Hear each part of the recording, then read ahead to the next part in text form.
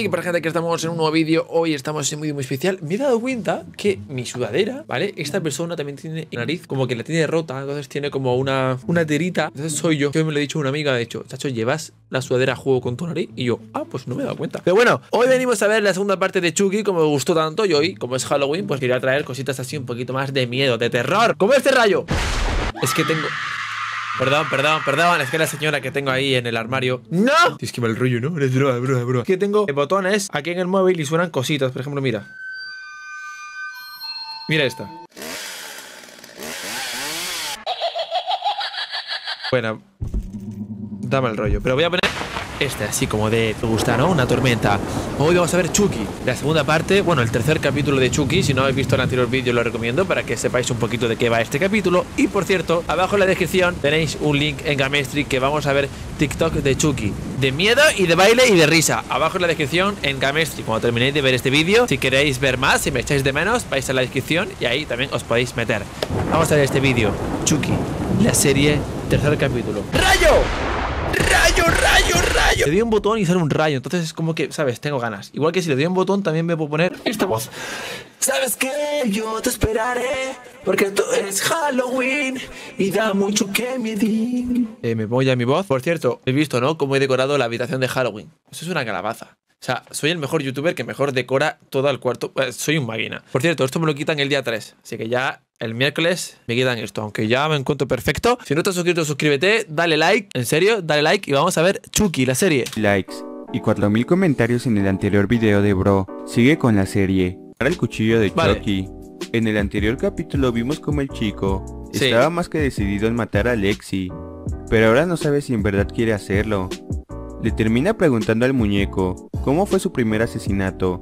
Y Chucky La cara del muñeco, ¿sabéis lo que pasa? Da miedo. Bueno, me da miedo no, me da risa, pero le cuenta que cuando cumplió años, una amiga castrosa que tenía fue a la fiesta.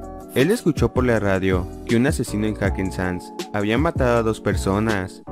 Regresamos a la actualidad.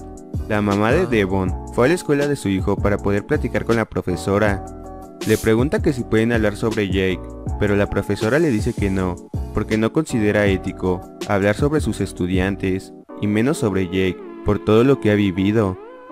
La detective solo le dice que piensa que Jake puede estar relacionado con las muertes de sus familiares, porque a cada lugar que va, parece que la muerte lo sigue. Vemos como Jake está platicando con Devon sobre lo que pasó en la fiesta. El chico le dice que Lexi fue muy cruel, pero ya superó su bromita. En ese momento el celular Oh. de Jake comienza a sonar, y más rápido que en chinga sale de la escuela. Está viendo ¿A su que le ha llamado Chucky? pero la profesora lo detiene un momento. Ella ya sabe lo que pasó en la fiesta de Oliver, por lo que mandó a llamar a sus tíos de Jake y a los papás de Lexi. El chico solo se va y escuchamos la voz de Chucky, mientras Oh. Jake parece que está cazando a Lexi. El muñeco le dice cómo debe acechar ¿Qué? a sus víctimas, y cuando Jake por fin va a matar a la chica, se da cuenta que a quien estaba siguiendo era a Junior. Jake solo esconde el cuchillo y su primo va a la casa de su novia para entregarle su celular. Por eso Jake se equivocó con el GPS. Dios, qué mal rollo. Rayo del mal rollo. Hostia, qué mal rollete, ¿no? Junior le dice a su novia que se pasó con la broma en la fiesta. Quiere que se disculpe con su primo, pero obviamente la pinche Lexi no quiere. Junior se va, y cuando Lexi entra a su casa, vemos como su hermanita Coraline está haciendo su berrinche porque quiere jugar otra vez con Chucky. Nuevamente regresamos con Jake, el cual está en el garaje de su tío, viendo las distintas armas para cometer su asesinato. Lexi llega con el chico, y para nuestra sorpresa, le pide una disculpa, diciéndole que lo hizo porque no aguantó el coraje por lo que pasó en el show de talentos. Al chico no le importa y la quiere matar, pero luego de unos segundos se tranquiliza. Después de pedirle disculpas Lexi, le pide un favor al chico, A el ver. cual es que le preste a Chucky para su hermanita.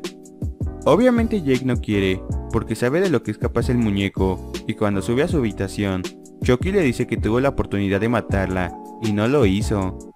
El muñeco sabe que Jake es muy débil para cometer su primer asesinato, por lo que Chucky tiene que encargarse personalmente. No. Al mismo tiempo vemos como Devon está escuchando la plática con ¿Han hecho equipo? ¿Por qué he puesto una campana? No lo sé. Bueno, han hecho equipo para matar. Como él no puede, la mata la otra. O sea, la mata Chucky. ¡Chucky! Porque grabó su conversación. Su mamá escucha todo, por lo que entra al cuarto y le dice a Devon que no quiere que se junte con Jake, porque todas las personas que están cerca de él terminan muriendo. No. Obviamente Devon no quiere, pero su mamá aplica la de es mi casa y son mis reglas. Otra vez regresamos con Jake. Él llega a la casa de Lexi y le termina entregando Chucky a su hermanita. La niña se pone muy feliz y cuando las hermanas estaban viendo la tele, Lexi baja a la cocina. Chucky va detrás de ella y cuando está a punto de matarla, se da cuenta que los amigos de Lexi llegaron a su A casa ver, porque anda un poco raro Chucky, la verdad que da un poco de mal rollete. sus papás no están. Ellos fueron a la escuela por la llamada que les hizo la profesora al inicio. Comienzan a platicar con sus papás y con los tíos de Jake, contándoles lo que Lexi hizo en la fiesta de Oliver, pero tan rápido como nos descuidamos se hace de noche. Jake Bueno, está en el bueno. cementerio donde enterraron a su mamá y a su papá, ya que les viene a pedir disculpas por todo lo que está haciendo.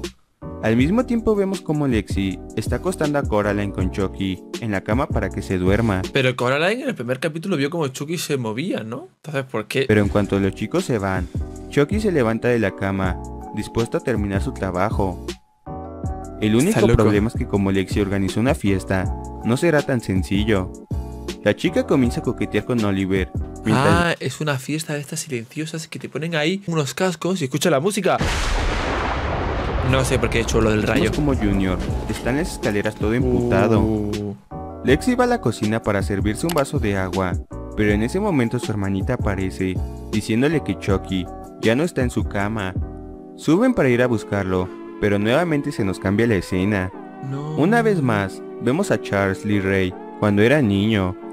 Él estaba acostado en su cama, cuando de repente escuchó un ruido en la sala. Bajó a ver lo que estaba pasando, pero terminó encontrando al asesino de Hackensands, matando a su papá. No. Regresamos a la actualidad. Parece que Chucky encontró a Lexi, pero para nuestra sorpresa, era Oliver. Chucky se lo termina fileteando, mientras vemos como todos en la fiesta Tío. siguen bailando ya que no escuchan nada por los audífonos. La mamá de Charles terminó encontrando a su hijo viendo todo, por lo que más rápido que en chinga, se esconde con él en el armario, mientras vemos como el asesino Típico, está ¿no? subiendo las escaleras. Vemos como Lexi se encerró en su habitación para poderse fumar un porro a gusto. Termina encontrando los zapatos de Chucky y en ese momento el muñeco le llega por la espalda. Obviamente Lexi trata de defenderse, pero vemos como las cortinas No. empiezan a incendiar gracias a que se les cayó el porro.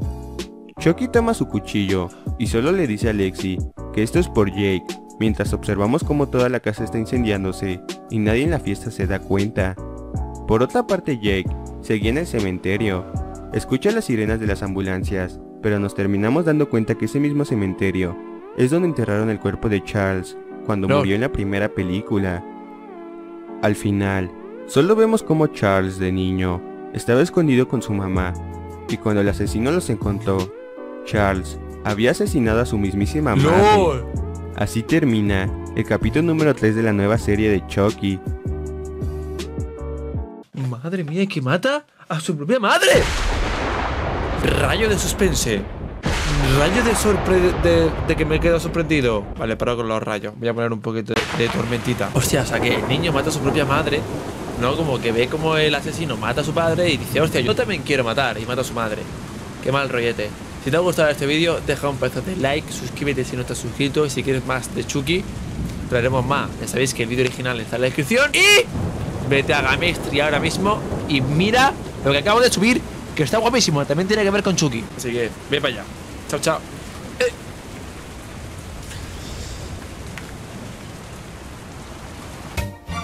Suscríbete, Suscríbete, suscríbete. suscríbete. Ha reído, aunque sea un poquito, dale a like. Este vídeo mola más, pero el próximo ya verás. Pero nosotros siempre disfrutamos, suscríbete.